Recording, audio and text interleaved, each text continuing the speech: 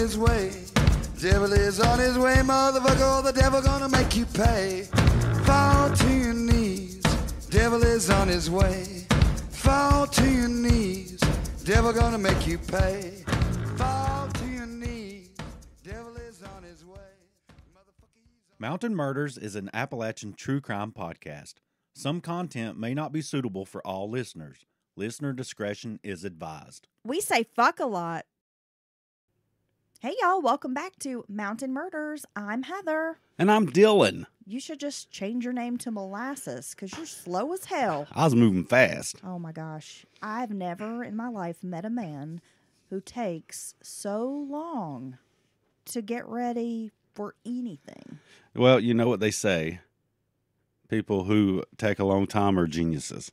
Okay, enough of that sidebar. We don't have time for that mess. You have an incredible long story for us today, but I must thank today's sponsors.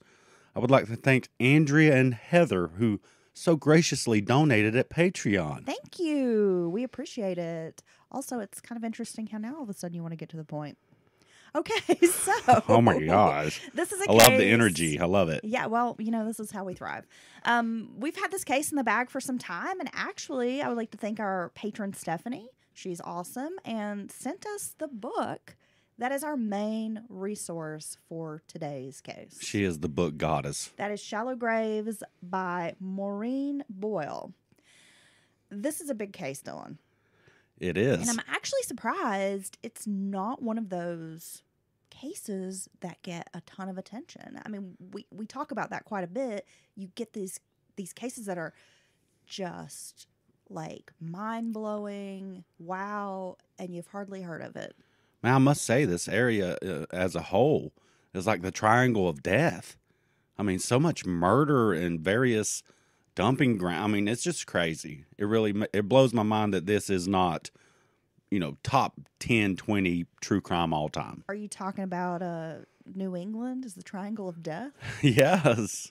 Well, I want to move there. it's like every No, the Well- Death Triangle. you were telling me about this and you were like, "Well, you can investigate this group of killings here and there and, you know, see what you think about the connections to today's story." And I'm just like, "Oh my god." I know when we decided to focus a month to each particular part of Appalachia, state, what have you, and we decided to group New England into the month of April, I had a really difficult time narrowing down what we should cover because I have probably 50 cases that I want to cover that we're eventually going to get to, but we have to sort of choose just a couple right now. So let's get into it, Dylan. Are you ready? Yes, let's dive straight in. 60 miles south of Boston, Massachusetts. Oh, that's up near where they got beans. New Right. Bedford is a historic. Oh, what the fuck? That's your first thought about Boston. I love Boston baked beans. I'm sorry, I Oh don't know what to God, do you guys hear what? I like a Boston cream donut. Okay, I'm gonna start over. 60 miles south of Boston, Massachusetts, New Bedford is a historic town that sits at the confluence of the Acushnet or Acushnet River and Buzzards Bay. It's what one might picture when daydreaming of a historic New England water town. The gas lantern street lamps, cobblestone streets, and colonial homes where sea captains' wives once waited for their men to return from whaling expeditions. I bet they were so happy when they got back. Just like when I get home, right? From work. okay, moving along. I'm moving along here. The city's fortunes peaked in the 1850s when a, I thought you meant like the women were happy their men were back. Yeah. Yeah, like I said, moving along. The city's fortunes peaked in the 1850s when a demand for whale oil was high. Herman Melville's Moby Dick. You ever read that book? I have a long, long time ago. Really? I never read that. Really? I had to read Herman Melville's Billy Budd. I'm not Um, familiar with Billy Budd. Yeah, that was like the worst. I hated that book. Well, passion. So I- that turned me against reading Moby Dick. But maybe I should pick up a copy. I'm surprised because you, you covered most of the classics, and that's certainly a part of uh, the American classics. Moby Dick was set in New Bedford. Do you remember that part? Uh, yes, I do, and uh, yeah, it's a, it's a you know huge whaling community and a whole lot of history there in New Bedford. By the 1860s, the whaling industry was in decline, but that was replaced with textile mills. Now the city is rich only in history. By 1988, New Bedford was a busy seaport with working class families who tended to grow up, buy houses, and stay in the area. But like a lot of areas facing economic depressions, the small city was gripped by addiction. Many women who were affected by drug addiction turned to prostitution. Many of the sex workers frequented an area known as Weld Square, an underbelly of sorts in New Bedford, where crack and heroin were endemic.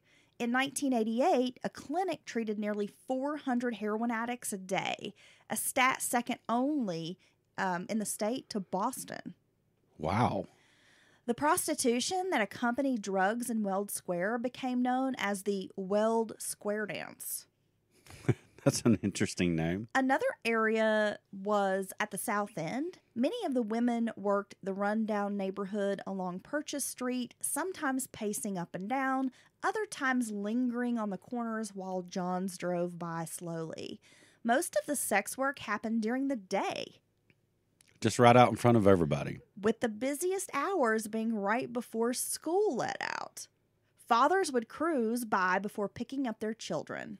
For You- $20, a woman would turn a trick in order to buy a single packet of heroin.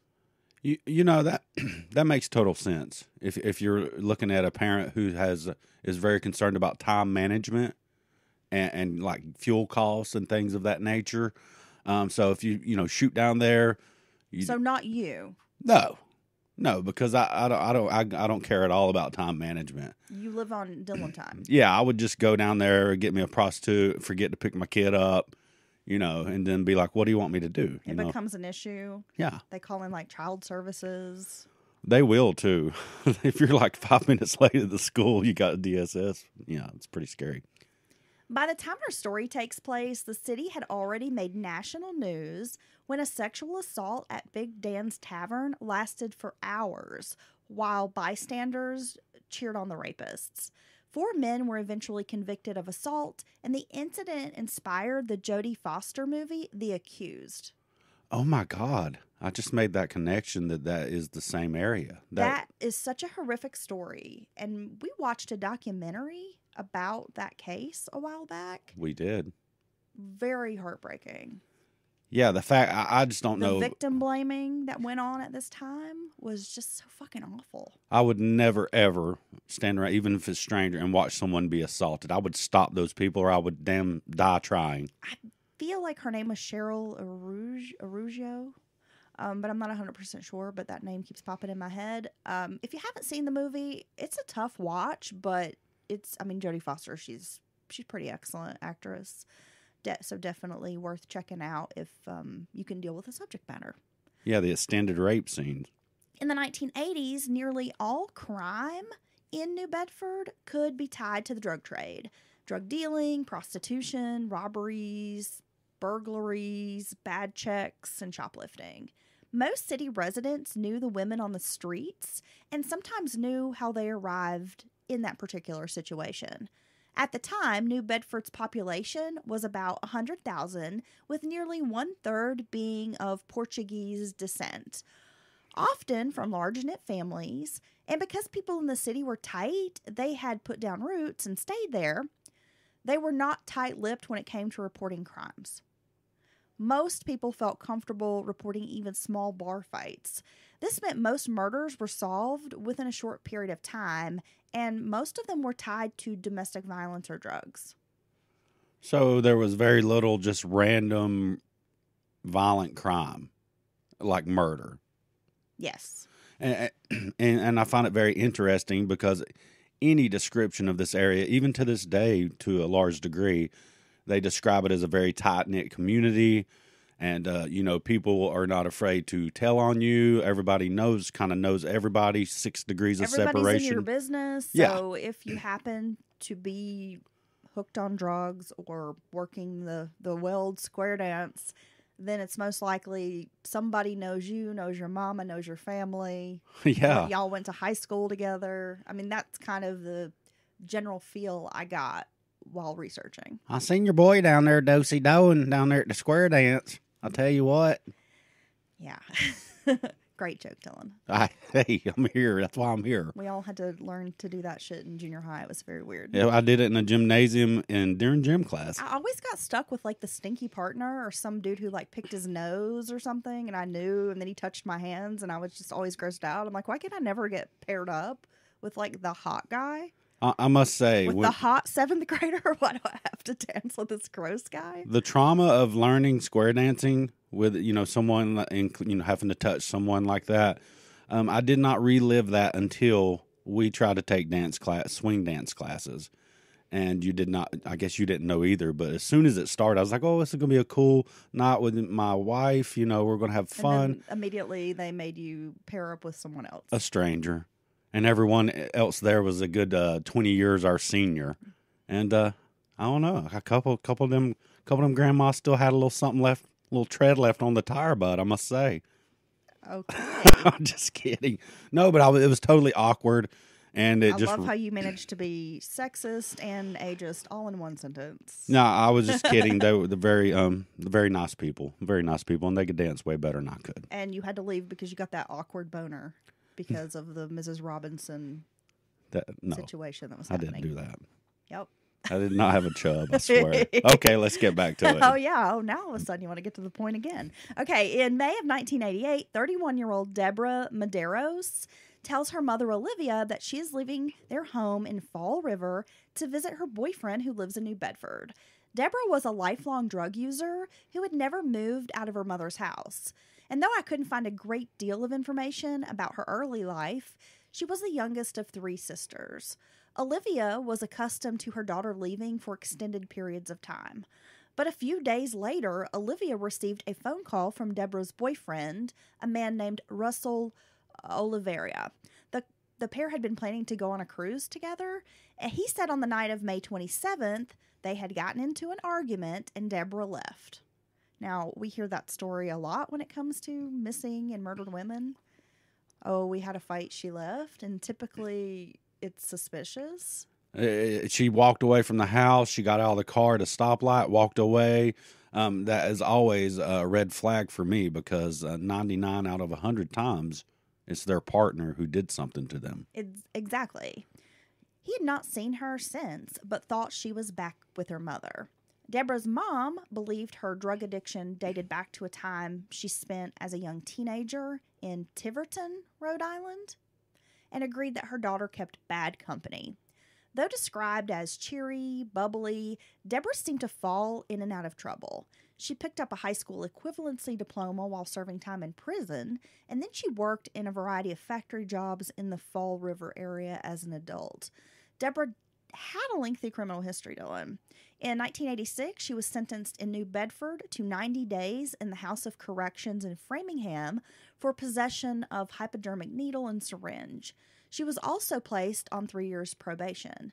Again in 1987 and 1988, Medeiros faced more charges of carrying a needle and syringe, passing bad checks, and armed robbery, which was connected to a bad marijuana deal. That sounds like a really bad marijuana deal. Her lawyer, Claire Carpenter, told the Boston Globe in an interview that Deborah wouldn't agree she needed help. He had last seen her in March 1988 before she had gone missing and helped her get treatment at a hospital for blood poisoning in her arm. He added, Everyone tried to straighten her out, but she just wouldn't listen. Deborah was reported missing by her mother on June 23rd, nearly a month after she was last seen by her boyfriend, Oliveria. Yeah, it sounds like she has all the problems associated with this type of lifestyle. Um, this is certainly not recreational drug use. This is a full blown every day, and that's what's really scary about uh, if it is a heroin addiction. It just consumes you so completely.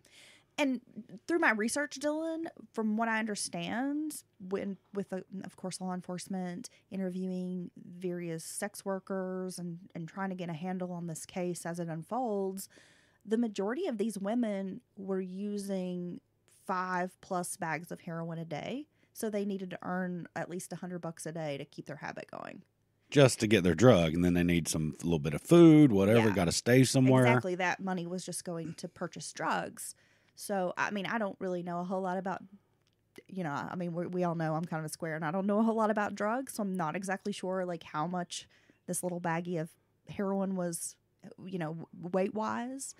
All I know is what I saw on the wire. Exactly, but five bags a day. I mean, that seems like a lot of drugs. I mean, Well, if you consider, so you go turn a trick or two, you get your bag, you typically go back, go somewhere and do it, and then you're going to have the nodding period of the high period of heroin, which I, I don't know, but it seems like it lasts, you know, some couple hours or so, and then you get up and it's just rinse and repeat, you know, and you're doing this all day long, so it's not hard to see how this just consumed your entire day, your entire life. There's no other time for friends, family, kids, um, a, a, a straight up nine to five job. So this really is just your life, and, and it's sad.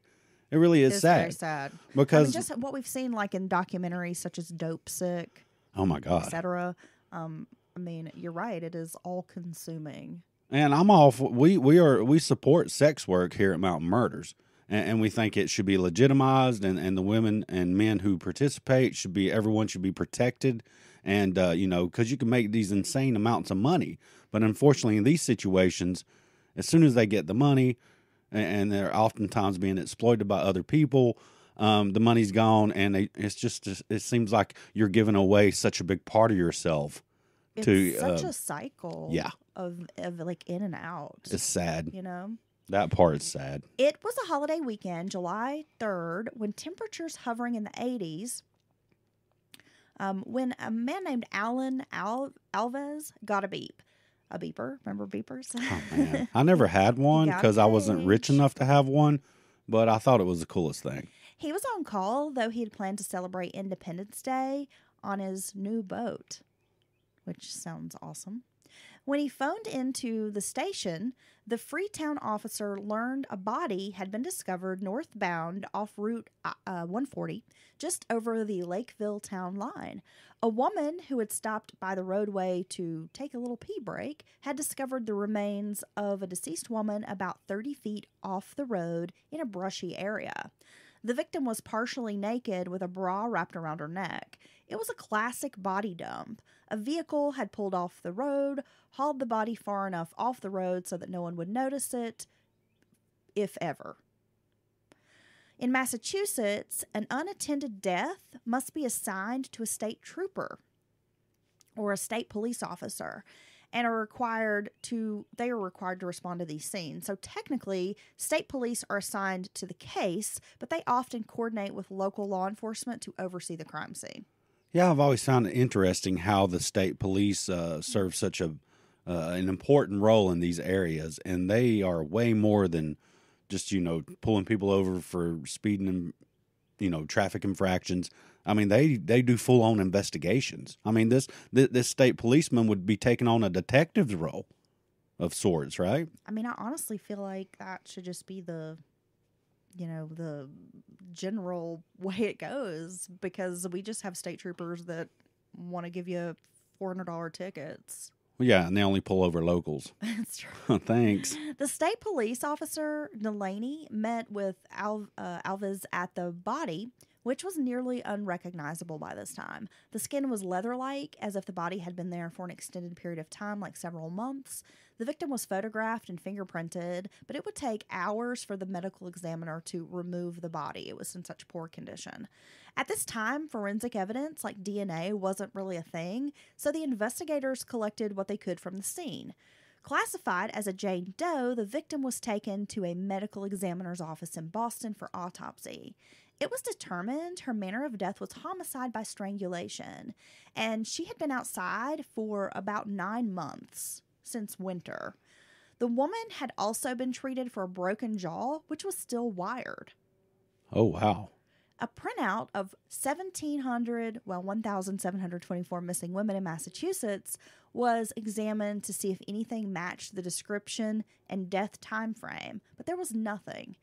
It could be five months before the woman was identified, and before investigators would learn how wrong the medical examiner had been in establishing the time of death. Now it's so nine months, just you know, barely off the road, not a whole lot. That that's pretty interesting. But uh, apparently, um, these interstates and roads are have a lot of wooded areas along the roads, kind of similar to our area. And unless you just happen to stop or have a flat or run out of gas or have a pee break, and but once you stop and get out of your car, a lot of times these um, the, these bodies would be uh, readily visible if you just you know you're not speeding by, which I found very interesting. So the killer just pops off, drags the you know dumps the body off like it's some trash, which is disgusting, and, and then they're gone and they don't want to stay there long.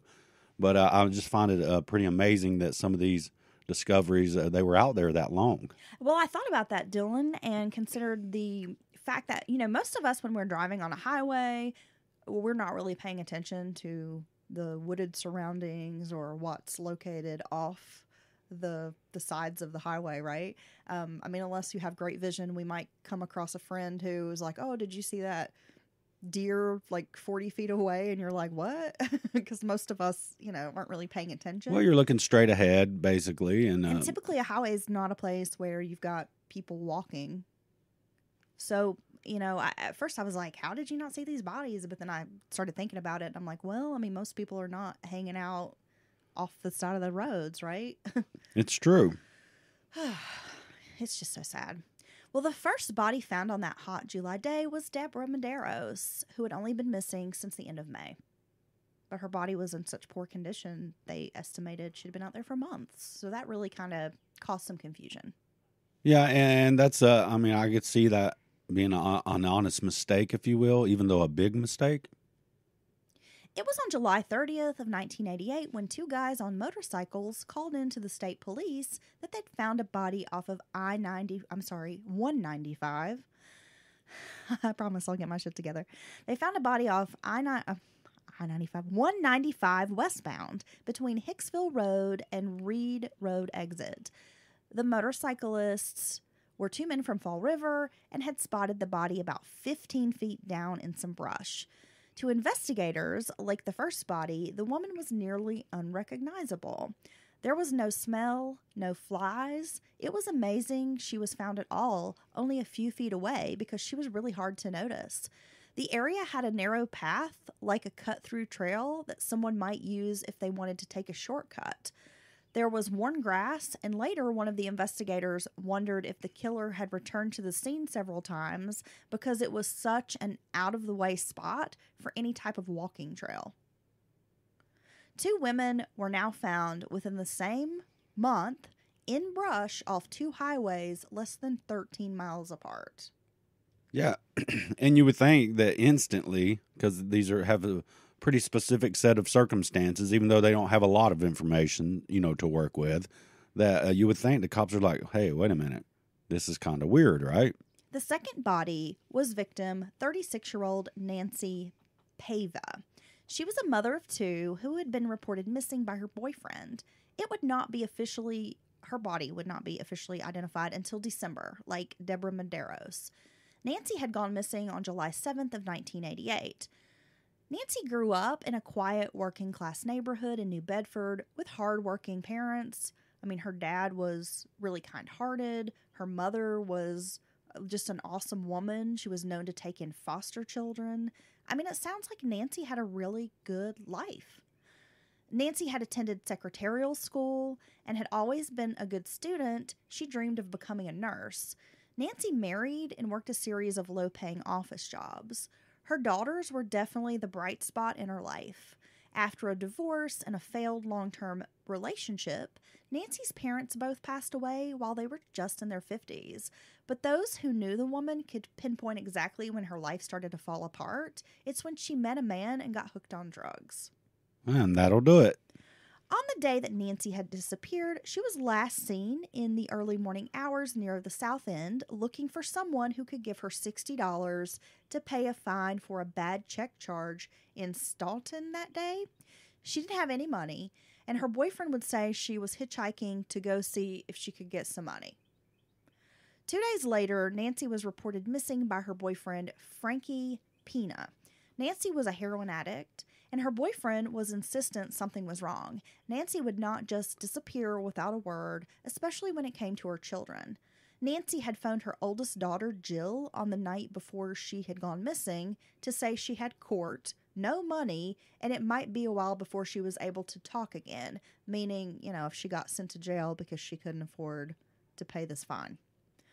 It was several weeks before Nancy's family, like her daughters and sister, even learned she was missing because Frankie lied to them saying she had gone to rehab. And he said this was because, you know, he didn't really want to worry her kids. Like, hey, your mom's been missing. I don't know where she is. So he just kind of was like, oh, she went to rehab, thinking maybe she would turn back up.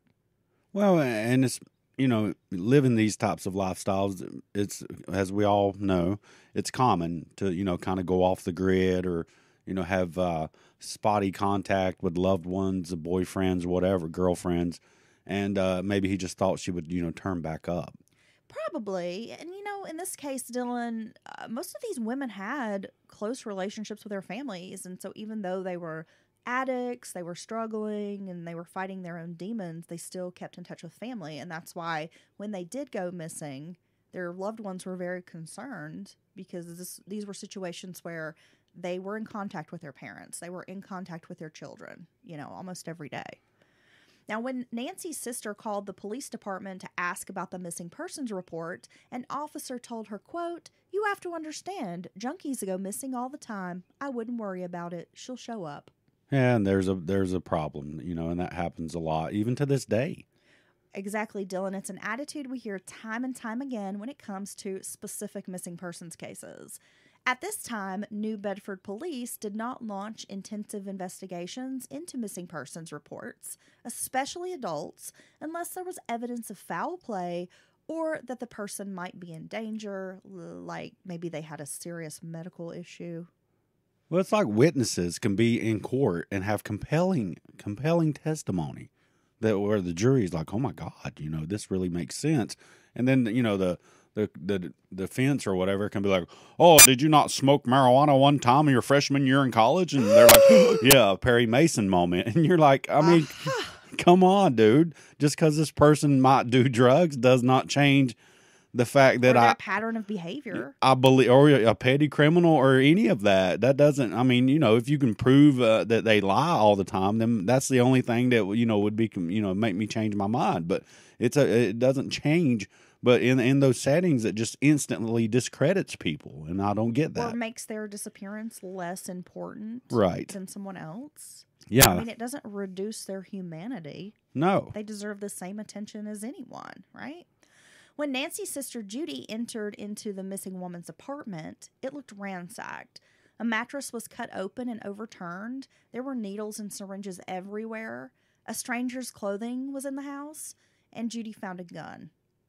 Days later, when she went back with police, the door lock was jammed and she couldn't get in with a key. By August, her sister's household was out on the street for trash pickup. Hadn't Yeah. been, you know, evicted wow, at that point. If there was any evidence or information about her sister's disappearance, it was now gone. So a potential crime scene had been disassembled and piled by the street, basically. I mean, her home and all. Potentially. Right. By September, two months after Nancy went missing, there were at least four women missing from the area. All of the women were similar heights and from, er, um, sorry, from nearly the same types of backgrounds. The women had ties to Weld Square. Mary Rose Santos, Sandra Bo- Botelho, and Dawn Mendes, along with Nancy, were missing. Let's talk about Mary Santos, Dylan, or Mary Rose Santos, as she's sometimes called. A 26 year old married mother was dropped off near the quarterdeck Bar in New Bedford by her husband Donald.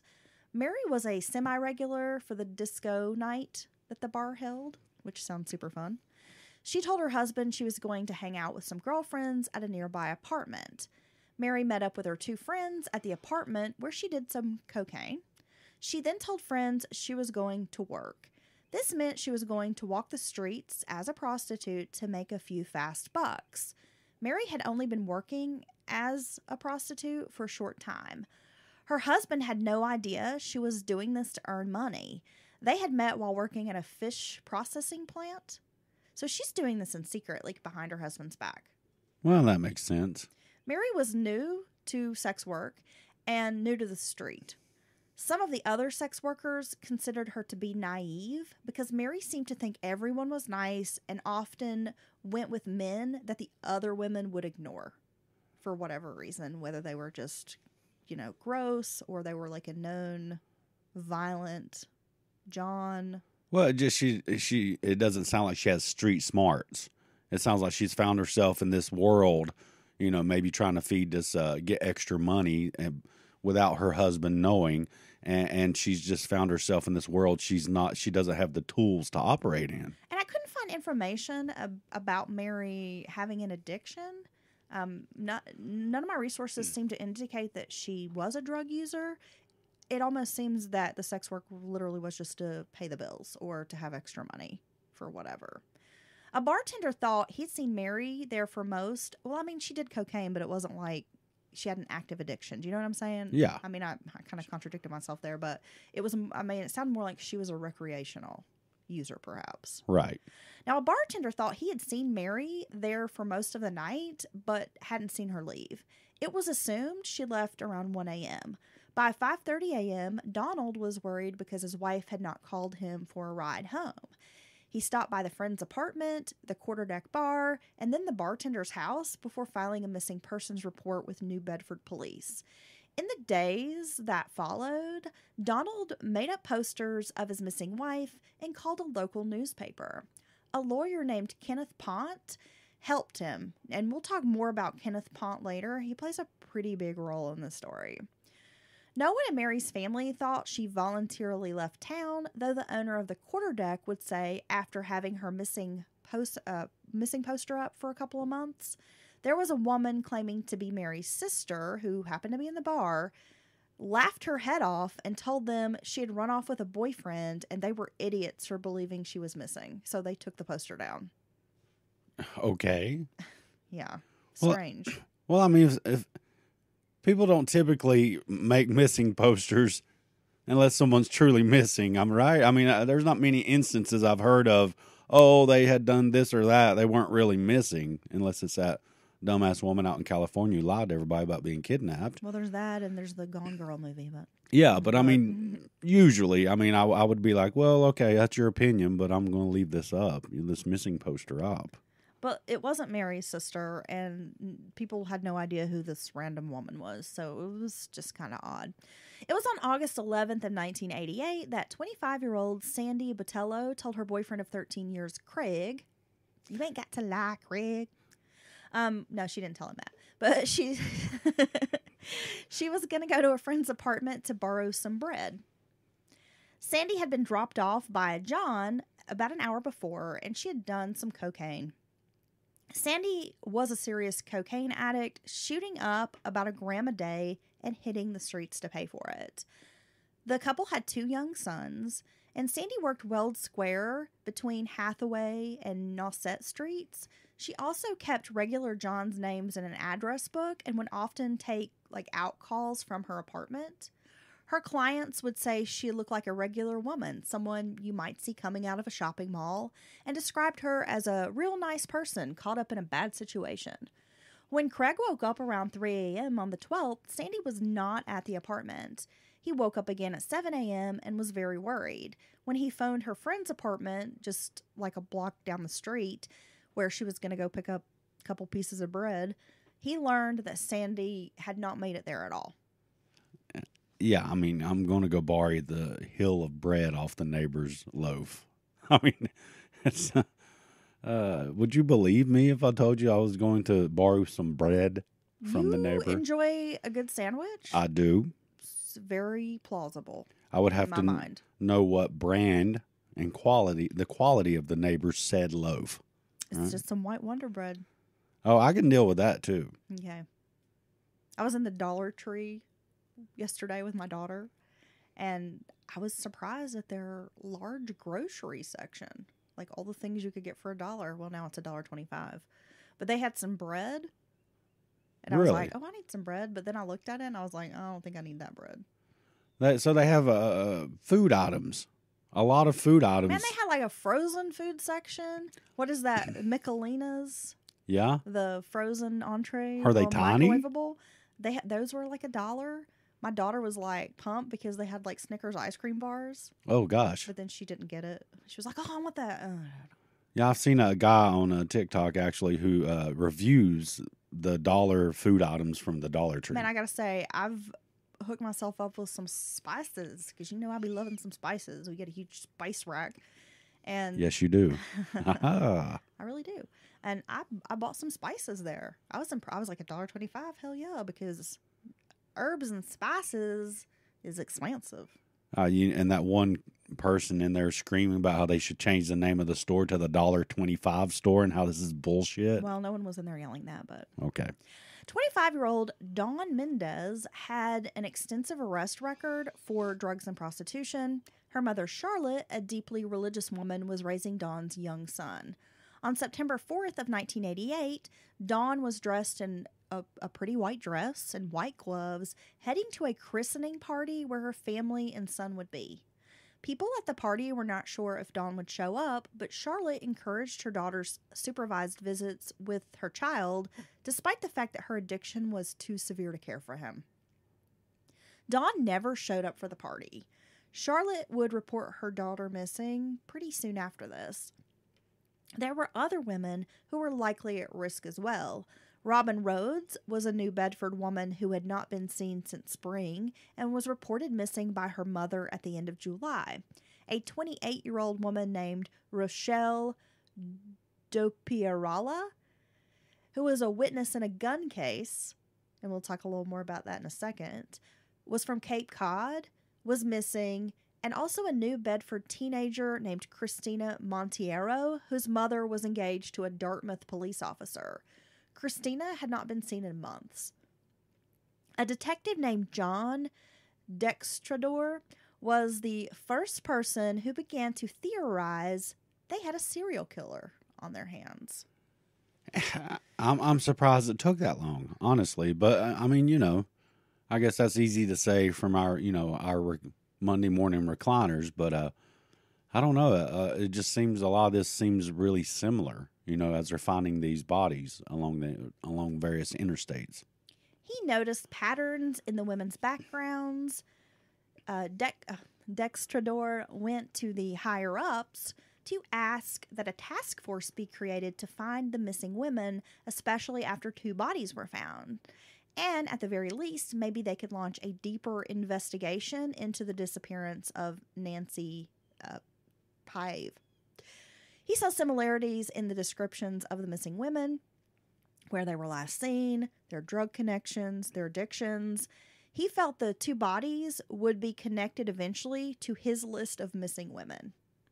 Now, eventually, Detective Dextradeur, uh, Dextradeur, yeah, met with the Bristol County District Attorney, a chief investigator, a few state troopers, and two New Bedford detectives assigned to a drug task force. He was able to lay out what he had, two suspects, and what he feared was happening a serial killer. Now, the two suspects he tossed out were Frankie Pina, Nancy's boyfriend, the one that reported her missing, because he was kind of known as a low life criminal. Just police knew him. He was a bit of a scumbag. So he's like a little baby shitbird in the area. I think he was a big shitbird in the area. Oh, I think he took a big shit on the area. And Kenneth Ponte, the attorney who had ties to the missing women due to his cocaine habit. Now, I told you we would get back to Ponte. now Ponte is very interesting in this story. He is. Now, he was also known to have strange dealings with local hookers. Kenneth Ponte had an interesting history as well. He had been sworn in as a deputy sheriff, which was mostly an honorary title, but it allowed the lawyer to serve court papers like eviction notices. And and I'm going to get to that in a second, but I'm going to dive a little bit into him. So, he had been an addict uh, like in the 60s and early 70s was kind of known to hang out in these areas, had this massive like heroin addiction, but then got clean, went to college, went to law school, seemingly had turned his life around, but is practicing law and actively using cocaine. Yeah, by all accounts, he, he wasn't no, you know um, super successful lawyer, but he had gotten his shit together, and he was you know making a living as a lawyer, which is very impressive to me. To you know, clean your act up, then go through law school, which isn't easy. No, it's really difficult. And uh, it's one of those, you know, the big three, you know, doctor, lawyer, architect. It's not easy to become e- any of those. And, uh, you know, and, and now he, he's, you know, kind of getting the respect back from the community. So uh, a lot of times he he will and now he like you said he's now he's doing coke again. But I think he was in one of those situations where he had this reputation before, but he didn't want people to know he's using drugs again. Exactly. Right. However, Kenneth was not. Um, um, he was kind of known. Okay, so I'm sorry. He was known to not only serve those papers as like a sheriff's deputy, but sometimes he would flash his badge to drug dealers and then steal their drugs. I thought he was going to say he was known to win a lot of dance battles because people got served. No. Oh, Oh, yes. Uh. Wake it up. Dad jokes. He brought prostitutes to his home, and one of the missing women, Rochelle Dopierala, had been staying at Kenneth's home around the time she disappeared. Now, if you recall, she was supposed to testify in a gun case. So let's talk about that. This is what happened. Rochelle claimed a guy named Roger Swire had raped her. Later, Rochelle and her lawyer, Kenneth, were driving down the street when they spotted this alleged rapist. Kenneth Ponte pulls over with a gun and threatens Swire, Her lawyer. her lawyer. well, her friend as well, apparently. Kenneth was charged in connection with that gun incident. Rochelle was seen with Frankie Pina at Weld Square when Dextradeur asked her to testify against Kenneth. Now, by that time, she had recanted the rape allegation but agreed to testify against Ponte. It had been months since anyone had seen Rochelle around. Wow. So that one gun case that, that she may possi- you know, possibly be a witness for um, actually dra- drags all these char- connects all these characters together. It does. That's interesting. And again, because it's a small community, she's working Weld Square. She's hanging out with Nancy's boyfriend, who's, as we established, a shitbird. Suggesting New Bedford might have a serial killer was not going to be popular. It would definitely keep tourists away, and new businesses would likely review their plans to move to the city.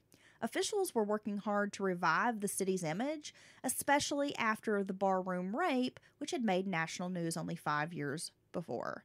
However, the Jodie Foster movie premiered in October of 1988, which would hamper those revitalization revitalization efforts. And this is the number one reason that I think many areas are reluctant, authorities are reluctant to say, um, now they'll always say public safety, we don't want anyone to be scared or panic. And, and that, that's true to a degree, but this, this this reason right here is why they're so reluctant to say we might possibly That's have why a the serial. damn mayor wouldn't close the beaches in Amity, um, at, at Amity Beach or whatever in the fucking Jaws movie because he didn't want to have the tourists scared, even though the shark is out there eating people. Oh my God, can I? Did I just figure out a way to have a great summer in Waynesville for the locals? We have a serial killer. Ah, don't come here. Heather's next case is about a possible serial killer in Waynesville. Don't visit. It's uh, yeah, it's the Park of Death. Oh, the Great Smoky Mountains. There's Just bodies piling up everywhere. yeah, but and I understand. They're- Hashtag misinformation. they're n- yeah, yeah. Hashtag it's not true at all. Um, but they have a you know a um a duty to the community and stuff. And, and I'm not saying this is malicious on their part, but sometimes you know in some of the cases we we've covered, they do go way past the point of reason. Money talks and the mm. serial killer walks. Okay. Like that, I got dad jokes too. okay. I got mom jokes. After a few weeks with no movement on a task force, Dextradeur called the newspaper to speak with a reporter who had also noticed the string of missing women. On the front page of the October 3rd, 1988 Standard Times was an article entitled Fears Build for Missing Women, which listed four missing women and their stories, including some interviews with their relatives. By late October, the official list of missing women considered um, that were considered endangered was up to six. Robin or Bobby Lynn Rhodes and Christina Monteiro fit the profile. Both were mothers with young children who were heroin and cocaine addicts. Both stayed close to the New Bedford city limits and checked in with relatives regularly. In early November, a state cleanup crew was working along the highway ramp off Interstate 195 in Dartmouth picking up cans and garbage. It was around 2 p.m. on November 8th when workers stopped in the center strip of the Reed Road Cloverleaf on the eastbound side when they saw human remains near a tree line. It was only four months earlier when those men riding motorcycles had stopped in the same area and found a body. Yeah, that's the scary part right there. About 20 or 30 feet away in the woods were clothing items. Um, there was a London fog jacket, a pair of pants, socks, underwear, and a shirt.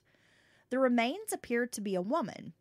The remains of three women found within a 20 minute drive of one another. I mean, it's like, hello.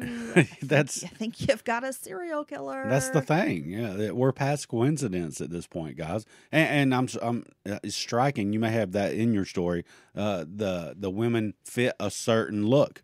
Oh yeah. no, Um, I. I kind of went in. I think I talk about that a little later on, but they definitely did, Dylan. But it's one of the most um, stark cases of that. When I've looked at the victims in, in, in a case like this, they are tend to be uh, petite in the 110 to 130 pound range, dark features, Brunettes. brunettes, brown eyes, Eyes. and, and just look at even their faces. They just look a certain way, and I'm just like, wow, that alone should be a, a major connection Mar- I between victims. Mary Rose Santos is the only one who didn't exactly fit into the profile or had a maybe a little bit different look because I think her hair was blonde or at least in the photo it looked lighter, but that could have been dyed. right, You know what I'm saying? But she was like kind of the only one that didn't have the dark like the really pretty dark hair. Right. Now, cadaver dogs were brought in to search the area. The first area chosen was I 195 in Dartmouth, where two bodies had already been found. It, it is actually Interstate 95, baby. I 95. I said I 195. I know that'd be another highway. Uh, okay, well, that was what was in my notes. Well, I could be wrong too. So, and, and, and I digress because I'm I'm fearful of trying to correct you because you're typically right. Eh, I don't know. Eh, eh, Highway 95. I'm sure someone will let us know, Dylan. Um, now, the first day, the dog searched for five hours but found nothing. On the second day, they searched the areas where the bodies had been previously found. The handler moved the dog to areas where there was no guardrail, which would be an easy place to pull over, where there was heavy brush or like a gully. It didn't take long for the dog to find something about 25 feet in a nearby drainage ditch. In the ditch, the dog alerted. When one of the officers bent down and reached into the mud with gloved hands, he pulled up a skeleton. Oh my God. That's like something out of a movie. It's like a horror movie. So now they're using cadaver dogs just to randomly search this general area where these multiple bodies have already been found. yes. In the, uh, not hopes, but in the possibility of discovering more remains. Yes. And sure enough, not that long into it, they find more remains. Pretty quickly. Obvious dumping grounds. Obvious dumping grounds. Body number four was found, and the area was now a crime scene. As I mentioned before, investigators and crime scene technicians didn't have DNA to rely on in 1988, th- so they did spend a great deal of time trying to make sense of what they saw out in the field rather than in the lab. Blood evidence could be collected, but it was not quite the DNA technology we rely on today. And as we've noticed in a lot of these older cases, Dylan, it was like they would go off of blood type, Yeah. which is not a great eliminator. No, it, it narrows it down slightly, you know. Or if you say, hey, this guy has the same blood, the suspect has the same blood type, I mean, it's more information than they used to get before. But they were actually collecting samples. Now, what they were doing with them was nowhere near what we can today or even in the, you know, early 2000s, late 90s. But fortunately, um, they were at least taking samples and preserving them, which, you know, could be very important in the future. Investigators looked for things like tire tracks, ballistics, and types of evidence civilian chemists could uncover in a lab. Some investigators learned to look for things like bugs, birds' nests, spider webs, eggs, and tiny blood droplets. The body found by the dog in the muck off of the 195 ramp could potentially yield a wealth of information. Part of the body was submerged in water, but there was a hand that was not. My God, that's a thing of nightmares. The victim could potentially get a fingerprint and a name, but fingerprints were still being analyzed by hand, not a computer system like we have today. So it made the work a lot harder. A technician would spend hours poring over one fingerprint card to visit like visibly visually compare these prints. Yeah, you can imagine two blown up fingerprints and someone with a magnifying glass searching each sector or whatever you call it of the fingerprint for similarities. And then they have to find so many to be a possible match. And this is all subjective work to a degree as well. And I'm not I think fingerprints are a lot more, you know, a lot better science than a lot of the other things. But yeah, I mean, yeah, like you said, someone could spend an entire day shift working on one set of prints and, And at comparing this them. time, they had just installed like a computer system that could help with this. But the issue with that was it was still new technology, and all of these counties were still uploading or trying to put the information into the system, and a lot of them weren't because it was still new. And so you might have a couple counties with the system, but not all the counties. I mean, so it was just kind of a mess. Some of the cards were not readable at all because they had smudges and such.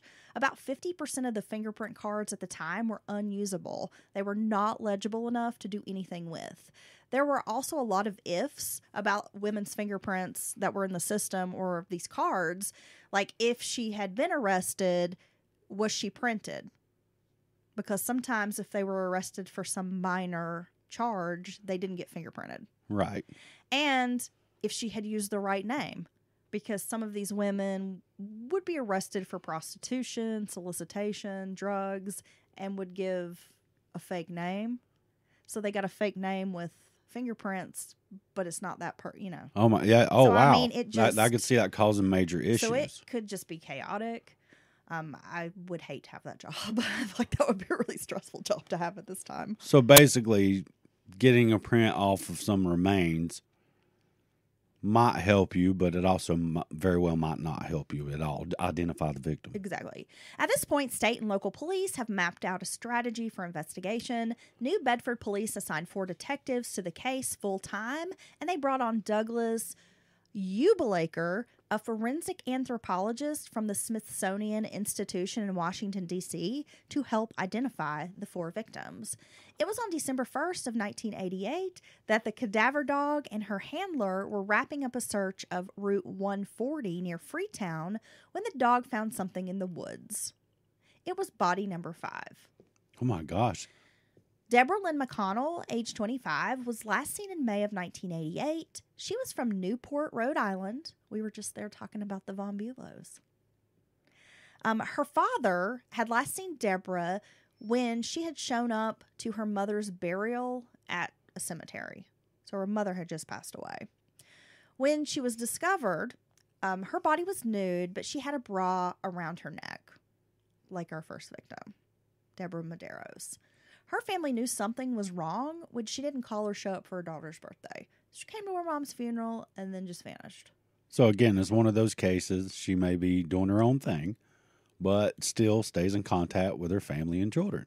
And as I mentioned before, the remains of all five victims were so badly decomposed that identification was difficult. I mean, they have these bodies, but most of them don't get ID'd until like December. Yeah, So it- you got like months of this going on. and even uh, cause of death was uh, subjective in some of these cases because the remains were in such a poor state. So one of these victims will be ID'd as Dawn Mendes. Mendes disappeared while en route to a christening at the Brickenwood Housing Project in the north end of the city. Her body was found on November 29th alongside Interstate 195. Now, Brickenwood Housing Project plays a major role in this case. A housing complex for low income residents was also the home to missing woman Sandy Botelho. Sandy's apartment was next door to Shirley Monteiro, mother of Christina Monteiro, who had been missing since June the 7th. Christina was alleged to have a cocaine habit, much like Sandy and Craig. Uh, on Andre Andrade, who I'm is su- Sandy's boyfriend. I'm sure you said that I'm right. just going to call him Craig. Just call him Craig. Craig. Now describe Craig because Craig knew her and he described Christina as quote a sister to us. Monteiro was reportedly working as a prostitute in Weld Square to support her drug habit. So we have three missing women who will later be named as murder victims who have ties to both Weld Square and the Brickenwood Housing Project. Craig said he also knew Mary Rose Santos, who went missing from the Quarterman Bar. I mean, so these people they they all have these connections. Well, yeah, and like you said, it just speaks on the close knit community, small kind of small town vibe of the area. Also, a woman named Marilyn Cardoza Roberts was said to be a neighbor of Christina Monteiro. And we'll get to her story here in a moment. Now, eventually, the fifth victim will be identified as Deborah DeMello. A woman with a history of drug problems, DeMello was known to local law enforcement, having spent time in prison. There was no official missing persons report filed for Deborah DeMello, but after a description was released to the press of this victim, a caller phoned in with a tip that it sounded like a woman named Deborah DeMello. So, Deborah was the mother of three and had been plagued by drug addiction since she was a young teenager. She had been serving a 21 month sentence in the Women's Correctional Institute in Cranston for loitering and prostitution in Providence, Rhode Island. On June 18th, she failed to show up at the prison following a day of work release at a supply company. So you're saying she was standing around selling that thing? Well, she was, and she was arrested and jailed, Okay. right? And so Yeah. then she's in jail, and they allow her work release, Okay. but she just doesn't come back from that. Oh So man. she's like become a fugitive from justice. but we trusted you. she's become a fugitive with that thing, Dylan. So she run off. Run off. So DeMello had escaped from prison at the time of her death. In 1986, she was arrested for being a fugitive from justice stemming from other drug charges. So she had a history also of just, you know, peacing out. Yeah, absconding Yeah. and kind of blowing off, and it's like whatever. And, and if they get me again, I'll just run off again. Right. So she wasn't filed as a missing or per- missing person. She was considered a fugitive absconding. Right. So there, it's not abnormal for her not to surface because she's hiding out from charges. Right. So they didn't even have her listed as a missing person. Now, eventually, investigators are able to identify the first four victims using dental records. So we've got Deborah Medeiros of Fall River, Nancy Paiva, and Dawn Mendes of New Bedford. And the fourth body was identified as Rochelle Dopierala. wow, Remember, she was the one staying with the lawyer. that's a pretty name. Another missing woman was the daughter of a retired police officer, Marilyn Cardoza Roberts. I just mentioned she was a neighbor in this Brickenwood housing project. Now, in her 20s, Marilyn had begun using drugs, and her parents spent thousands of dollars trying to get her sober. By the end of her 20s, Marilyn seemed to kick a heroin habit, married a fisherman. Life seemed to, to be going well for her until she met a man named Raul Yarrow. Oh, I don't trust Raul at all. I don't either.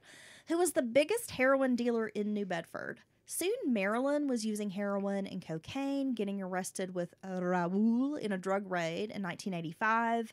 When spring rolled around and Marilyn's mother didn't hear from her daughter in March, which was her mother's birthday, and then no one had heard from Marilyn by Mother's Day, they were worried. Rumors circulated that she had stolen about $25,000 worth of jewelry from Raoul and headed south to New Jersey.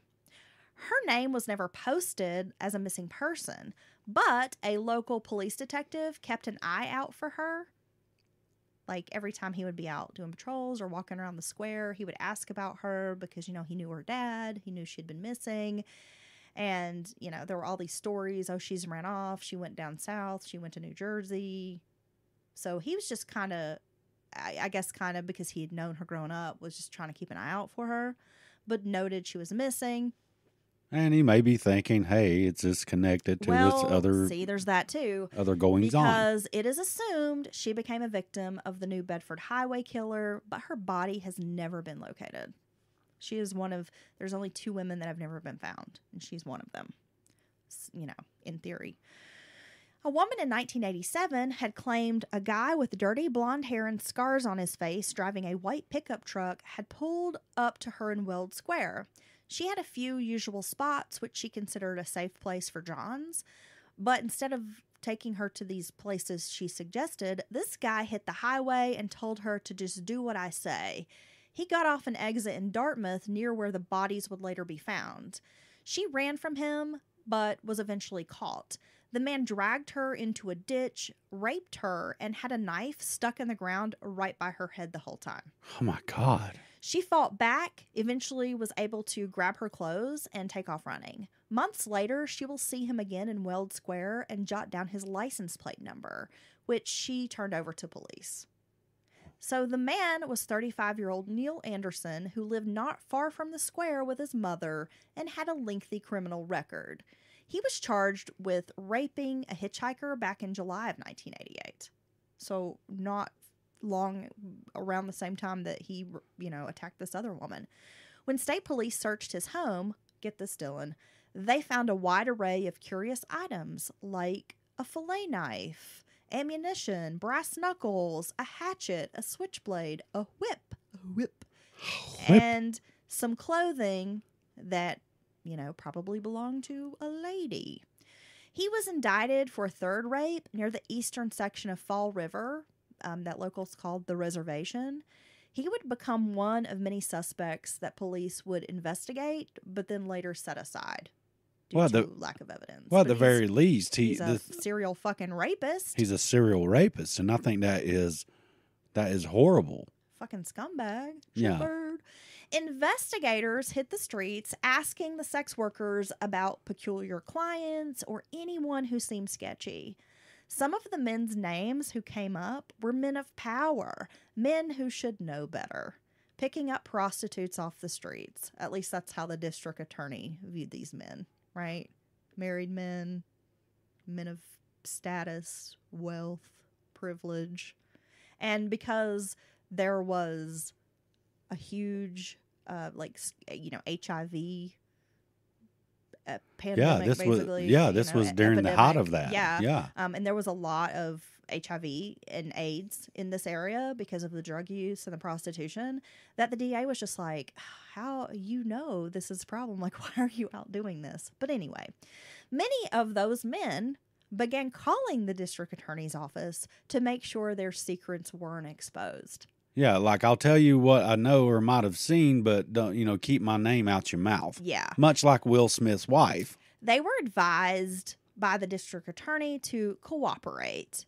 The investigators were trying to solve murders, not expose their sexual proclivities to the public. No, it's funny though. Is anytime they inve- investigate victims tied to these types of activities, it doesn't take long for this very thing to come out. People with you know reputations in town, the powerful, whatever, because we all know there's a reason it's the oldest profession in the world, sex work, because people are gonna get theirs, and when you break it down to a straight up monetary transaction for services provided it has been going on as long as humankind has been together. I have two responses to that. Yeah. In the words of Lauryn Hill, that thing, that thing, that thing. Oh my God. sing. And That also, thing, honestly. um, in the words of Naughty by Nature, OPP. that's true. That could also be other people's property. Which, Are you down with it? Which could be that thing. Are you down with OPP? Um, well, not now. Wait, wasn't that also like a clothing line? Ocean Pacific? Was it OPP? That was just OP. It was OP. Oh man, I want to. I wish I had an Ocean Pacific vintage shirt right now. If anybody is I out there, some OP. oh god, that was my jam. in the eighties, and I still could, didn't have enough of it. If anybody, right quick, if anybody's in a thrift store anywhere around the world, and you see a fat man and you see a, Pacific. 3X OP shirt, send that to me. I would pay triple what you paid. Big Daddy wants a shirt with like a surfer on it. Just some random generic surfer with sunglasses. I remember having a really badass OP shirt that had like these kind of stripes oh across Oh the God. chest with like a sailboat, and it was like Ocean Pacific. so many pastels and, and like blues. Oh man, that was I loved that shit. I would wear like my OP shirt with like my jams, Oh my my god! brightly colored jams. Not your jellies. Yeah, I had some jelly too, bitch, and, and some pink Reeboks. Oh my god! Okay, Phew, high, high gosh, top pink Reeboks. we need to start like an '80s nostalgia I was rocking the podcast. first grade. I have an I had an '80s nostalgia podcast, and I listened all the time. You need to get back to it. lost some steam there. Okay, back to my story. So the women who worked Weld Square didn't fit the Hollywood image of a sex worker. They wore jeans, t-shirts, tennis shoes. If a person glanced at them, they simply looked poor, but a closer look might reveal that they had a drug addiction. Many of them kept tabs on dangerous clients. They would write down license plate numbers and felt they could usually spot a John who might rob or beat them up. Well, they're just trying to protect themselves and their associates and friends. Some of the women carried knives or screwdrivers for, for protection, but most of them knew deep down that once she was inside of John's vehicle, they had no idea what could really go down. Before the bodies turned up in 1988, Fall River had several sex workers killed in 1987.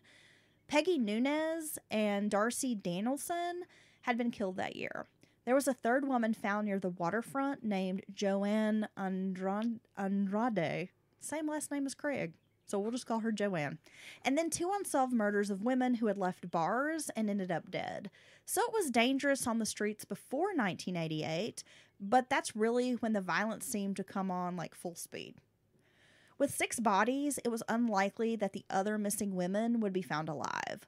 One named kept coming up in interviews with the girls on the streets, relatives of the missing women, and even a few cops, and that was Kenneth Ponte, Damn it, Kenneth. the lawyer. He had represented Mary Rose Santos in a civil case and even helped her husband distribute missing persons posters. Dawn Mendes, who was last seen in September, had been to his home before, and Rochella, uh, Rochelle Dopierala was seen in his car and was known to stay at his house. Robin Rhodes, who had also been missing since the spring, told her sister she was dating a lawyer she called Kenny. Nancy Paiva had once worked in his neighborhood video store and had hired him for a bankruptcy case. So Kenny's just all around connections. He has a lot of connections to these women. He was known to be a heavy cocaine user, and girls on the street told investigators he was paranoid. He would bring them to his house, then bolt the doors and refused to let them leave. He wasn't violent with the sex workers, but just really strange, Well, odd behavior. I know what Kenny was doing. He was all in the blinds, like looking to see if anyone's on the street, if someone's out there. He's like just, uh, yeah, he's to- he's tweaking. He's he's the cocaine version of tweaking, and I don't like people that do that because you're ruining my buzz, bro. I'm just trying to chill. This didn't stop the girls from going with him, though. Um, he supplied them with cocaine and wasn't really interested in sex. So even though he acted, you know, in a really odd way, they were like, well, I don't have to touch him and he's going to hook me up. Well, and he wasn't violent. No. He wasn't mean to them. He was just doing his thing. And, and I, you know, yes, I did use drugs back in the day, but I don't now. I must have a full disclaimer there. But, uh, we know, Dylan. I know We exactly. know. Um, some drugs, not all. Uh, I know exactly how Kenny was acting, and uh, but at the same time, um, a- and, it seems to me like uh, he's just he's friendly. These are his friends as well. You know, you become cl- close to people. You run around doing the same activities together, and sometimes he would send them out to get him the cocaine and stuff and bring it back to him. Now that's he- exactly what it was. he doesn't want to be seen. He was procuring. Uh, well, he was using these sex workers to procure the drugs, Right. Because you're right. He had a reputation that he had like cleaned up his act, and he didn't want people knowing that he was still snorting the coke. Gosh, I bet it was good coke. We stop? I'm just kidding. Everybody's here, you know, listen to you all these times, and they're like, "Damn, Dylan, I'm kidding. I'm sure it was. Who are you, Pablo Escobar?" No, and don't do cocaine, kids. If if you're in the car listening to this with your kids, do not do cocaine. Dare Keep kids off drugs. You're not exactly, and you're not going to be able to find this great '80s Coke nowadays. no, it's probably gonna have fentanyl. It's in going to have fentanyl it. and You're going to die. Yeah, So that's why you don't do drugs. yeah. So why don't you sit over there and Okay. get somewhere and get still? So done? here's Kenny. He's all over the place. He's connected to various uh, people in, in multiple ways in some cases. And so I've got to imagine that the cops know about Kenny. Well, yeah, they're asking these sex workers, and so yeah. Yeah. So I they- mean, I, know. I got to ima- I, might- I might imagine that some of the investigators might like him a lot for the, the possibly being you know their killer. On October 10th of 1988, Ponte packed up his home and office, moving to Florida about a month after Dawn Mendes went missing. He had bought a place in Fort Ritchie in August.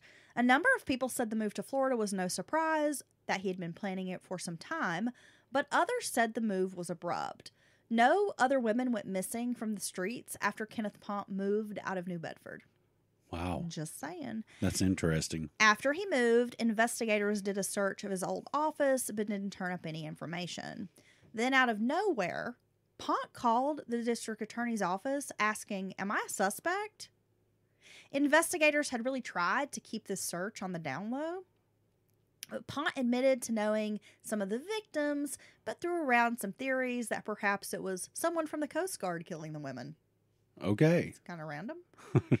maybe it's that guy on the boat out there. So many coast coasties out there. Yeah, just wearing a little orange life vest and I mean it makes sense. just I- doing some killing. I sat up for four days and I thought about this.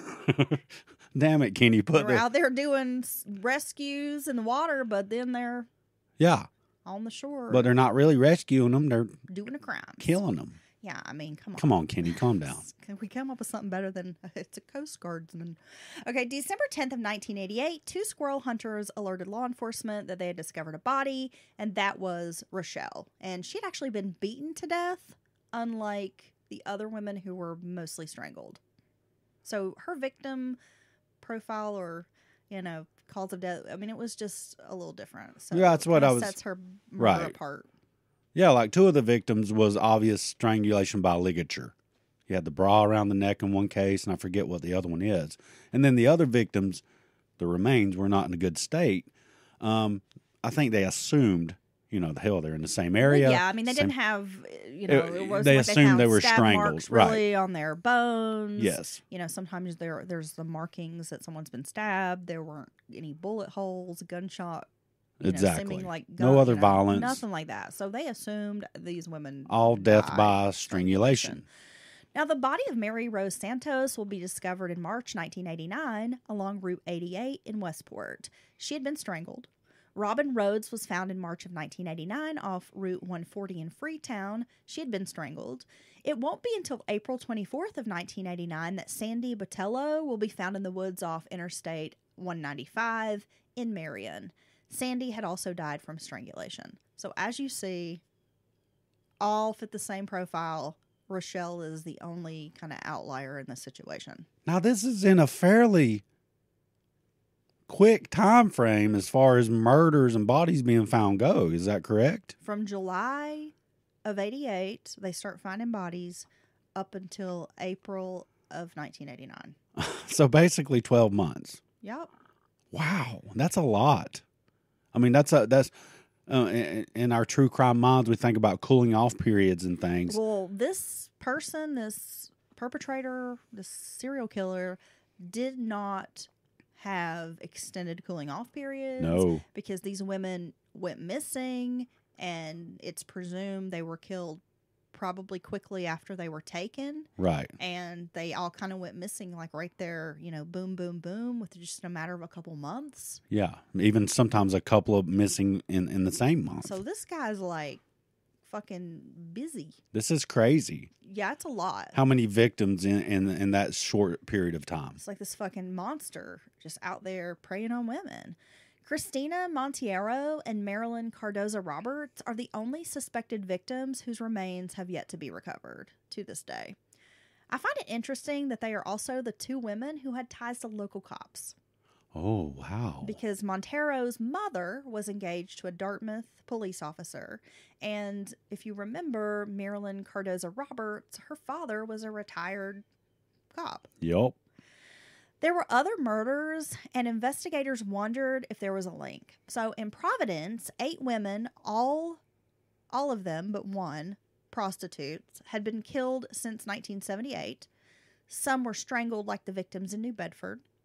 Four other women were killed in New Bedford, all seen leaving local bars between 1986 and 1988. So could it be the same killer?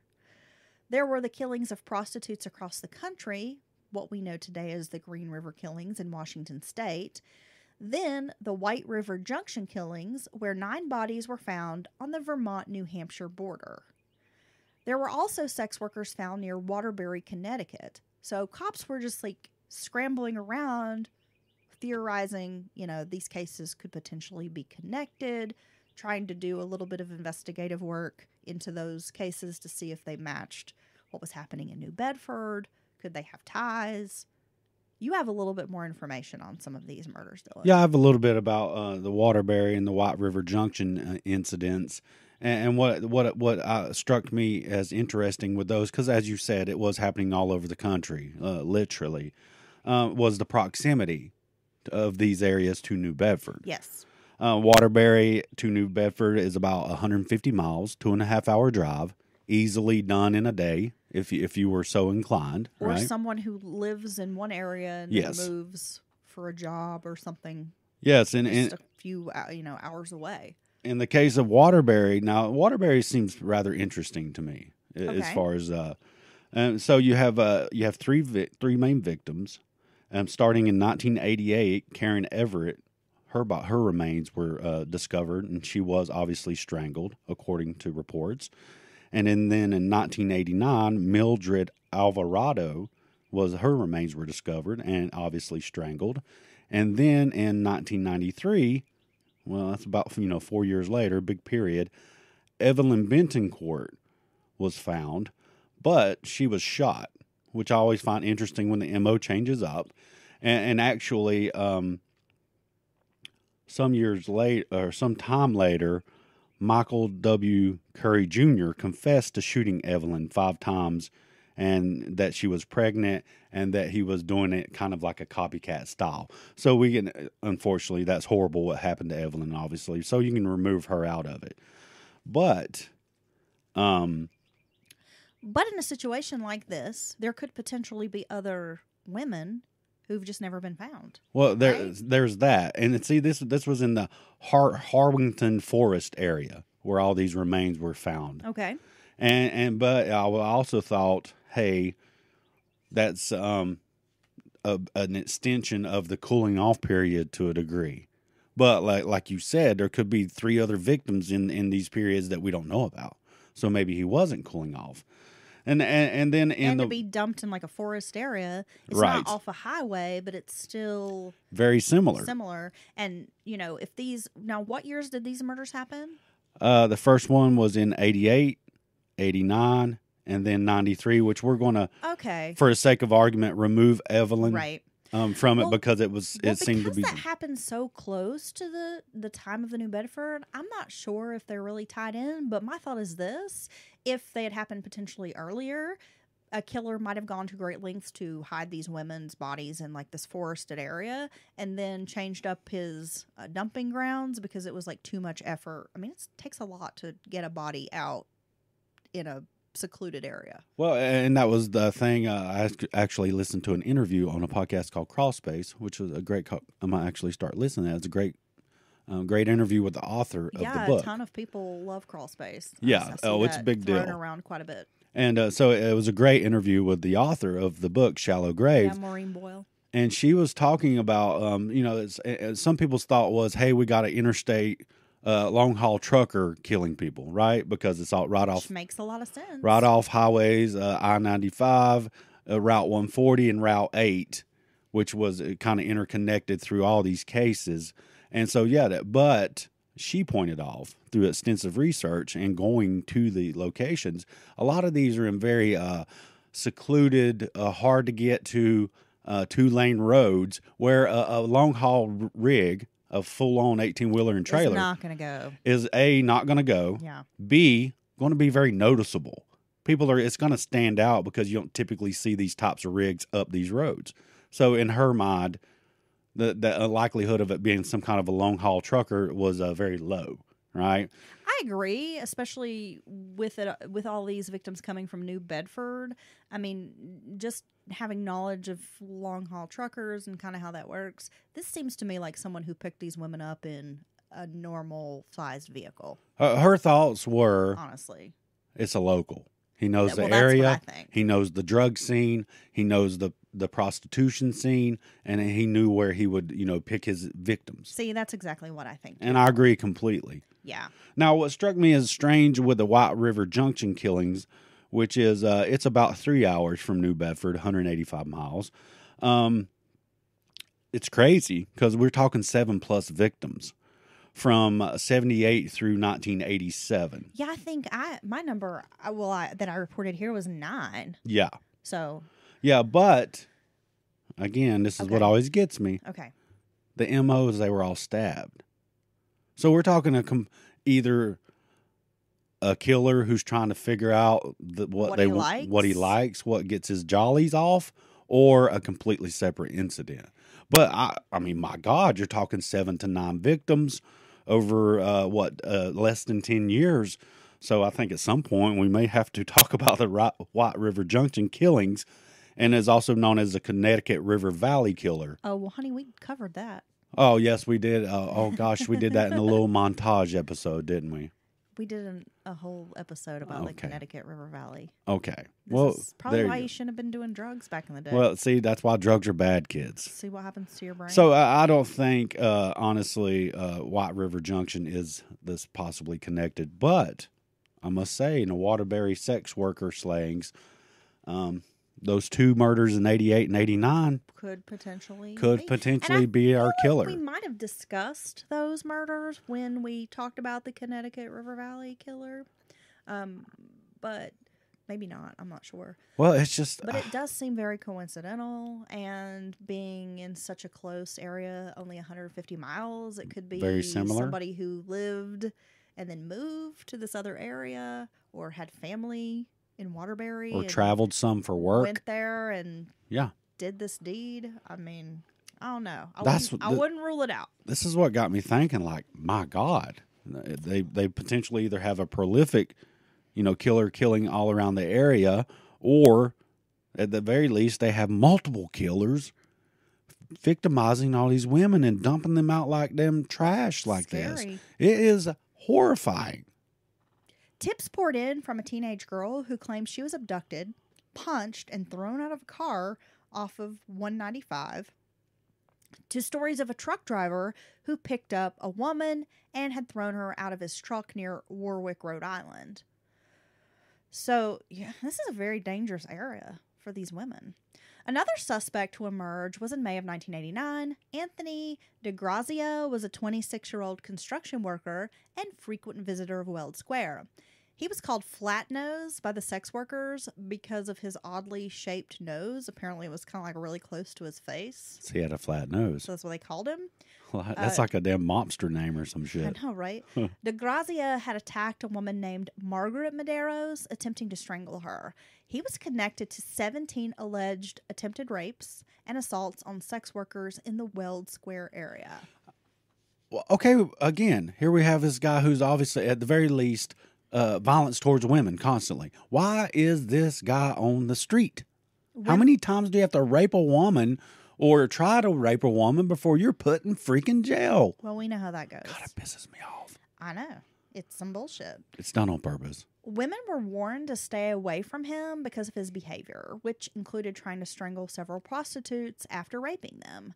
Margaret Medeiros testified before a grand jury, but they failed to indict him. He eventually surrenders himself and spends about 13 months in jail awaiting trial before being released due to a lack of evidence. He told one of the sex workers, quote, I'm going to do to you what I did to the others. Oh my God. Yeah. That's ominous. One month after his release in July of 1990, DeGrazia is found dead by his ex girlfriend's parents. He is lying face down under a picnic table, I believe in their backyard, and was thought to have died by suicide. Reportedly, pills were found Well, uh, you know, by his body. that is an improvement in the story because this guy was a piece of shit who attacked women left and right. And no evidence has really been found to link him to the murders. However, his family believes he was murdered. An autopsy report ruled his death as a homicide, but the district attorney's office changed it to a suicide.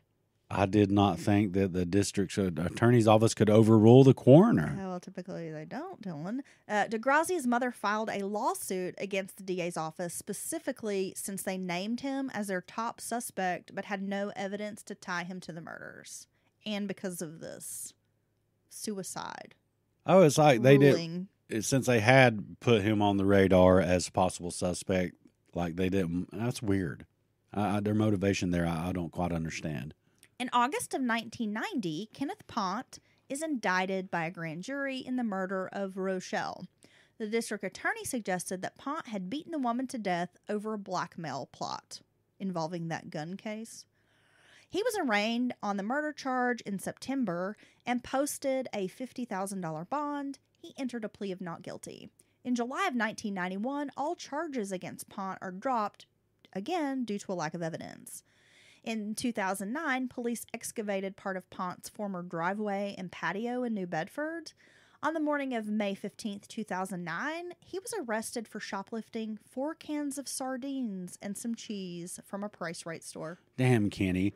Now that with them uh, uh, taking, there was rumors for an extended period of time that he had, I guess, uh, constructed this patio at some point when, when before he moved to Florida, and, and for quite some time, uh, the DA's office of prosecution wanted to go do a proper search of this property, and obviously that's not always uh, possible. And so then he packs up, moves to Florida, and uh, then it turns out the bank is actually in control of the property.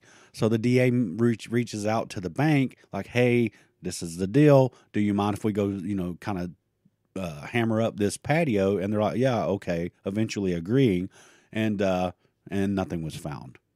But But that is strange. that rumor persisted to the degree to make investigators go tear up a damn, you know, concrete slab. well, let's uh, be honest, Dylan. Anytime you're watching a true crime New construction in the yard. or listen to a podcast and you find out a person of interest, a suspect, has built a swimming pool, Yeah. put up a new building, A marble statue with a, big base. concrete patio, poured new cement in their garage. I mean, My God, we I, we thought Brian Laundrie may be living under a flower bed in his mom's backyard. So I mean, that's the way we think, right? true. That was his hand. Damn it! I swear it was. he was found dead in his home on January 27th of 2010. Oh my gosh. So Ponte has passed away. The New Bedford Highway killer case went cold with no new leads and no new suspects. However, in Lisbon, Portugal, a strange pattern began to emerge similar to the one in New Bedford. Someone was killing sex workers at alarming rates. Between 1992 and 1993, three prostitutes were killed that we know of. Yeah, this is very interesting. On July 31st of 1992, 22-year-old Maria Valentina was found in a cabin in I'm going to butcher it, Povoe de Santo Adrieo in a pool of blood. Let's just say in Lisbon. Yep. Okay. She had been strangled, disemboweled, and some of her organs had been removed. It was an absolutely horrific, brutal murder. Just She was bu- butchered like an animal. like Jack the Ripper type of shit. Ah, A second victim, 24 year old Maria Fernanda, was found in January in a cabin by some railway workers. She had also been disemboweled with organs removed. Then a third victim, 27 year old Maria uh, Hoeo, was found near the first victim, who happened to be her friend, and she was killed in the same manner as the others. All victims were young, brunette, and alleged sex workers and drug addicts, which totally matched the description of nearly all the murders in New Bedford. In March of 1993, FBI agents arrived in Lisbon with information about the American murders. They theorized the killer was a member of the Portuguese community in New Bedford. He had left the city and traveled back to Portugal. However, no real connection was ever made. Other sex workers were killed in similar fashions in the Netherlands, Czech Republic, Belgium, and Denmark, which led investigators to theorize the killer might have been a long haul trucker. or an international traveler, or um. See, okay, so the this is crazy.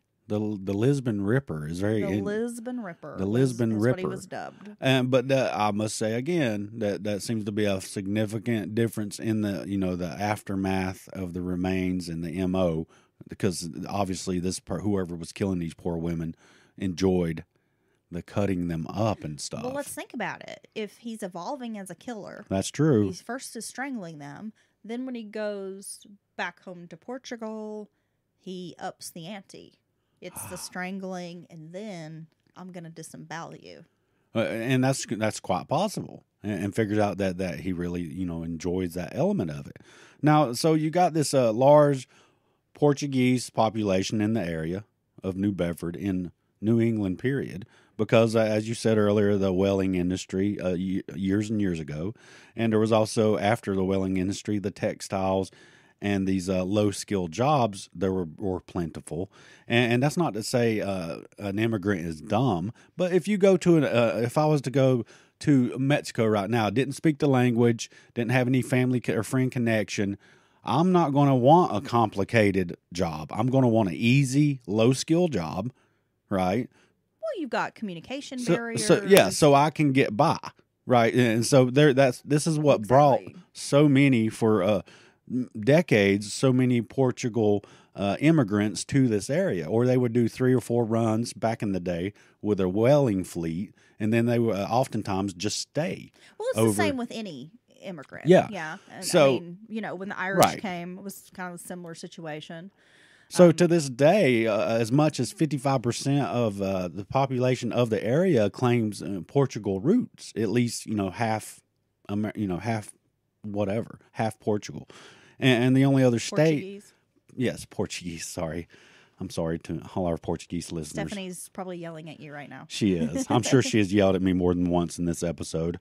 And, and it's second only to California as far as the population goes. So the only reason I'm saying that is because uh, it's interesting that the authorities from Portugal would come over for that very reason. And, and, and it's a good theory on their actually part. Americans who went over there. Oh, oh, I'm sorry, but uh, it is interesting that they would maybe consider, hey, this guy's killed all these people well, here, it seems like a pretty solid right? theory or solid connection considering i mean when you're working with nothing you have no real suspects you have no real Right. evidence you're just like totally hey this is a cold case i mean I, you're grasping at straws and this seems like a pretty decent straw right Yeah, and, and I think it show, proves to what lengths uh, the investigators went to solve this to case. solve this. yeah. Even at some point, they got a profile from uh, the famous the, the Mindhunter crew,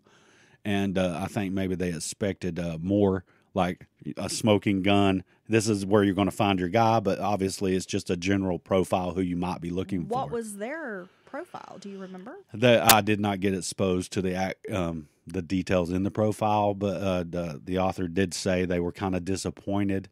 Maybe they expected uh, it to help them more. Oh, yeah Well, just because that was such a bit, that was still such a big new thing, you know, at that point. exactly But uh, they just uh, gave them some. Uh, sometimes they're pretty vague well, and pro- that's what profiles do. You know, they just give you a general outline, and if you already have some uh, handful of suspects, you can say, "Hey, this guy right here fits." You know, two or three or four of those six points. You know, so uh, they did. They they tried. They tried for a very long time, and uh, so where does that leave us now? Well, yeah, I mean, just as far as a profile goes, and I'm no profiler, I'm just a true crime podcaster. It's true. But know enough about true crime to speculate that this guy was a local, and typically serial killers kill within their own community, yes. uh, their own race, typically. So I would speculate this is a local guy and that he's part of this Portuguese community I think he very well could have been. and knew, probably knew these women personally, had known them from school or uh, just around the neighborhood. or was part of the drug scene or prostitution possibly- scene. Exactly, and was possibly familiar with these women, so he could get them in the car. They trusted him enough to go with him. E- even if the other women, because they were looking out, or sex workers, I should say, um, uh, they were looking out for each other.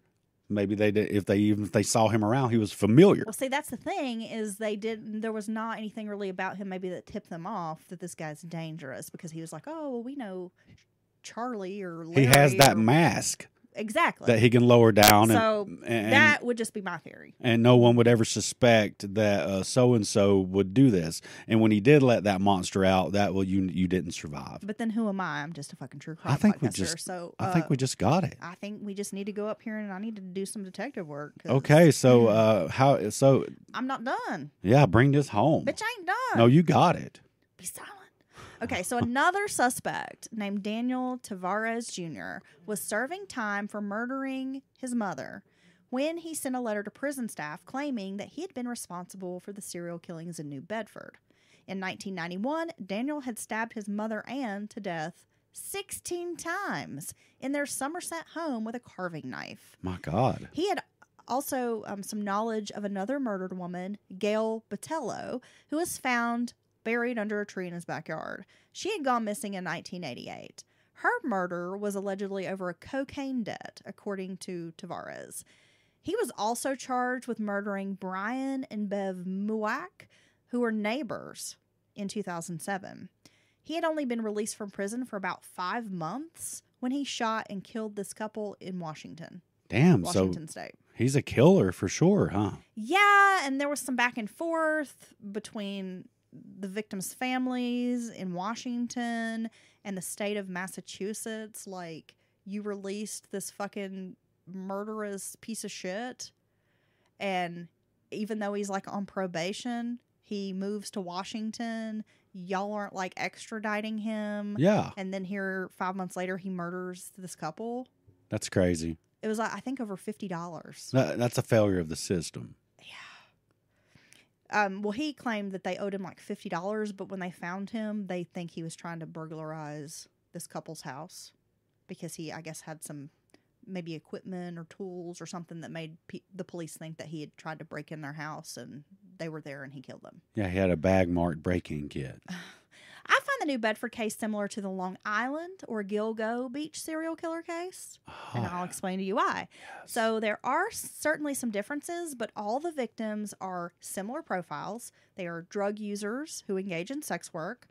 Also, Dylan, the Long Island serial killer began in the 1990s when I mean, this is all shortly after these unsolved murders in Massachusetts. So it's likely this person did these crimes in New Bedford and then moved on and maybe murdered some other people somewhere else and then could go to this Gilgo Beach area and start dumping these bodies.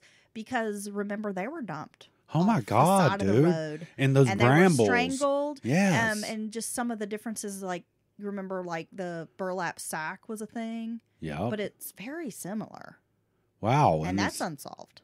yeah. Well, that's another similarity. Able to do it, be proficient, do it right under the community's nose, happened right? like boom, boom, boom. Remember, I mean, there Yeah. were some bodies that were found like in the late '90s and then the early 2000s, but it seemed kind of like there wasn't a ton of cooling off period. No. this guy. Wow. That seems like a stronger possibility than the other two we discussed.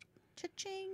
Damn. New Bedford police have always operated on the idea that the suspect was local who knew the area well and likely knew the sex workers from either Weld Square or perhaps the housing project. Totally makes sense to me. Yeah. Although the case remains unsolved, there are 15 children who deserve to know what happened to their mothers. So, hopefully, with advances in DNA technology and this focus on cold cases, because a lot of police departments, now that we have this more advanced, um, like forensic methods, are reopening these cases, we may see this case solved sometime soon, hopefully. Yeah, and I believe even uh, even recently that some of these items, some of these collected samples are, you know, being uh, sent with new techniques or being exposed to new techniques as we speak. Well, coincidentally, Dylan, as I am researching and typing up this story, I found an article that was written like that particular day when working on this case. Uh-uh. So, like a brand new article written about um, these unsolved murders in and around New Bedford and how uh, you know, there's a cold case kind of team or whatever looking into these cases, and some of the victims are they were mentioned. So I'm hoping because this is a new article that they really are taking the time to reopen these cases and do maybe more thorough investigative work or whatever. I know now what's going to do it. Familial, Familial DNA. DNA. That's what's going to crack it, guys. So today's sources: Shallow Graves by Maureen Boyle. Thanks, Stephanie, for sending us a copy. And the Rhode Island Monthly had an article from April of 2009 that was very informative. Reports from the Boston Globe, the Boston Herald, and a website called murderinnewengland.org. Yeah, and I, I read uh, once you put me on on some homework. I I read multiple articles from the Boston Globe, and I um, listened to a great episode of Crawl Space, a great podcast. And uh, well, I think a lot of people know that. I'm just now figuring it out, but it was a great interview. And, and uh, what was her name? Sh- is it Cheryl? What the author? Maureen Boyle. Maureen Boyle. She's a she's great. Her her enthusiasm for the subject She's an matter. investigative reporter. Yes. And she spent a lot of time Yes. covering these cases, Right. researching it. She's from the area. Yep. you know, and I mean, just like we're from Appalachia, and when we cover cases that are local, like to us, Mhm. like happened in our town, I feel like we were really passionate about it because we know the area, we know the people involved. we- Right.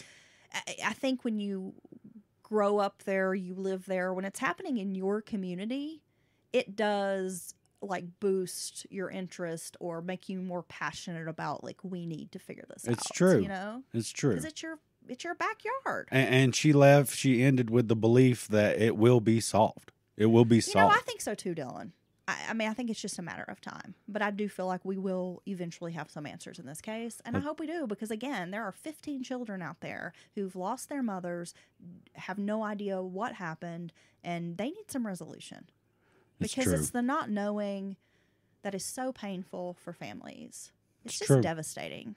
And these women, despite whatever their struggles were, they did not deserve this end at all. no one does. I mean, it's just horrible.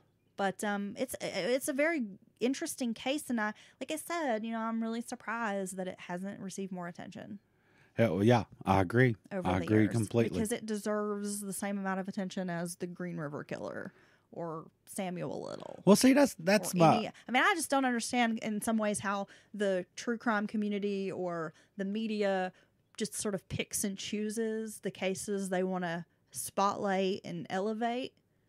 I when- don't get when it. When all victims deserve justice and we and we need to know about all of these cases so that we can try to bring forth some kind of answer and push to get these cases solved I don't get that at all. You know, we, we we are constantly frustrated by that very point. You got your top ten or twenty, and that's what every time a, a a, documentary comes a out documentary or a new podcast starts, they will go down this list, and it's like, guys, I, I know. Now, I must say, I must say, um, I am going to watch the um, John Wayne Gacy, Gacy confession tapes Yep. because I, I that is in the top 10 top 5 possibly and yes i've heard about gacy a hundred times but i do think uh, and i've heard from some of our Well, discord you know, fam hearing the killer speak yes in their words, I will never tire of that. well and i'm fairly certain he makes the accusation that he was not alone I've heard, yeah.